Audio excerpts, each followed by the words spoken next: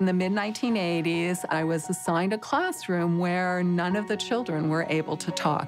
And I could see how much was going on inside their minds. So I was inspired to create new opportunities for those that have the most complex disabilities who face the greatest challenges. When I first came to Penn State, there was no research.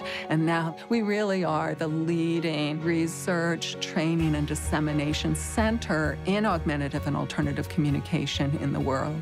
You're looking at the purple one? Yeah. Okay. Each individual that we see is unique. We can customize the technology to meet their needs, and that's changed things dramatically. The program has broadened her vocabulary immensely. Pacifier. And she's also able to articulate in different ways what she wants. We have a tremendous responsibility to connect these individuals with the world.